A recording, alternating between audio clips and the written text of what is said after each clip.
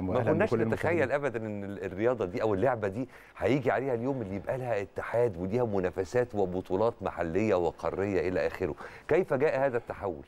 الحقيقة لفتت نظري وهذه الرياضة وأنا موجود في خارج مصر في فترات كثيرة جدا في أثناء تلقي لدو- لدورات في الخارج ووجودي في أوروبا وأمريكا. لقيت ال- اللعبة دي مشهورة بالنسبة لنا وعارفين شكلها. فلفتت انتباهي جدا.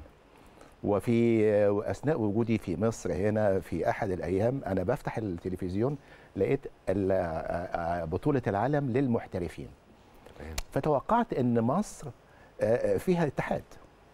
الحقيقة ما لقيتش. ولقيت إن مفيش ما فيش. فأنا الحقيقة تقدمت بشكل قوي والحمد لله بدأت رحلة من سنة 2008 انتهت بتأسيس الاتحاد في سنة 2014 تمام. وبقينا بشكل رسمي موجودين في الساحة الرياضية العربية ومن خلال تعمقي في الدراسة لهذه الرياضة هذه رياضة قديمة جدا أحد رياضات عائلات الرمايات.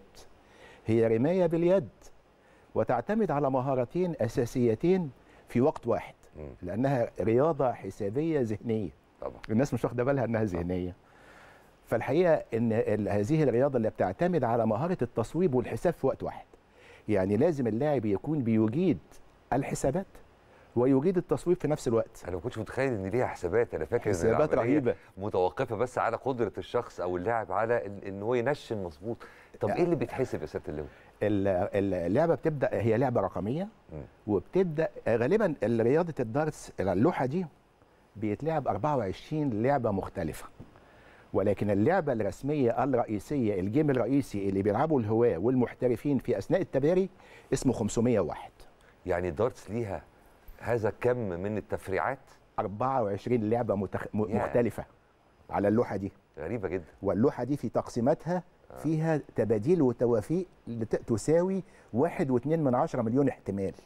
هي مرقمة من واحد لعشرين بطريقة غير منتظمة. تمام. المثلثات العشرين دي بتساوي تقسيمات داخلية حوالي 82 تقسيم لما نعملهم حسابيا يطلع لي هذا القدر من طب الاحتمال. خلينا خلينا بعد إذن حضرتك نمشي برضو واحدة واحدة. حضرتك آه. بتقول إن أنت ابتديت تسعى في وجود اتحاد أو في تأسيس اتحاد من 2008 يعني الموضوع خد من حضرتك ست سنين. كتير. ليه ست سنين؟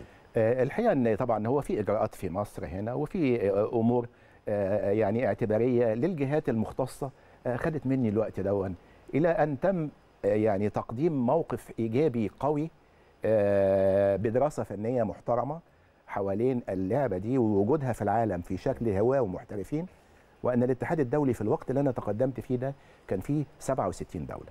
فالحقيقة كانت لما بدأت الرحلة من ساعة ما كان آه، في مجلس قومي للرياضة إلى أن بقت وزارة الرياضة. رحلة طويلة.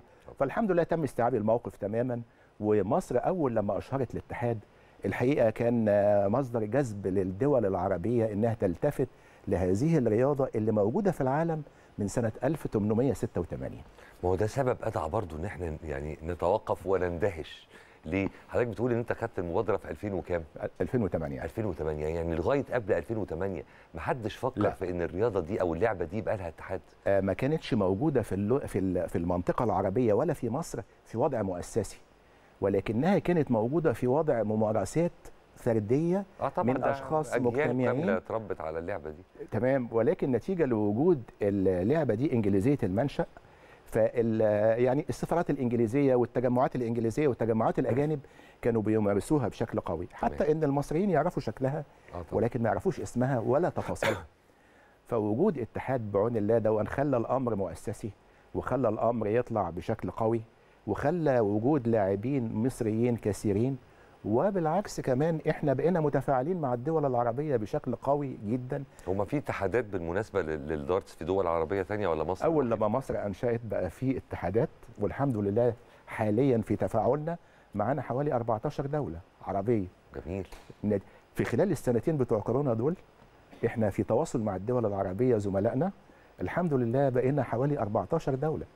وبنتقدم جميعا لعضوية الاتحاد الدولي وإحنا مصر عضو الاتحاد الدولي كأول دولة عربية من سنة 2016 وإحنا كمان كأول دولة عربية ندخل كأس العالم سنة 2019 إحنا كأول دولة عربية ننظم بطولة دولية سنة 2019 في مرسى علم. فالحقيقة إحنا لنا يعني مع البداية القوية دي والانتشار الكويس ده على المستوى العربي وضع قوي جدا يماثله على المستوى الإفريقي. والله شيء عظيم. طب